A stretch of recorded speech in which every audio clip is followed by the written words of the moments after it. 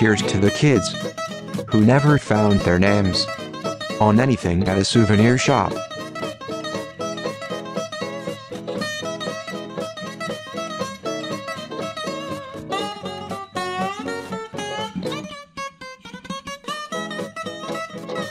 How much of an allowance did you get? As a teenager per week, I was allowed to live there.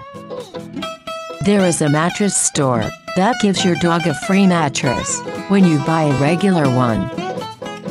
I'm old enough to remember when Sundays were for family and all the stores were closed.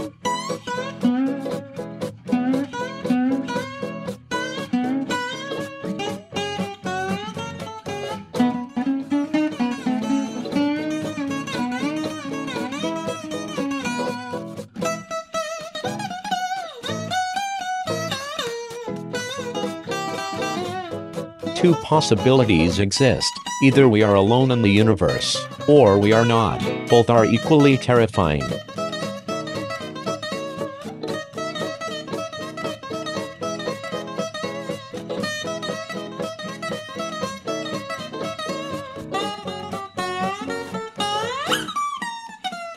The original patent from 1891 for a toilet paper roll shows the correct rolling direction.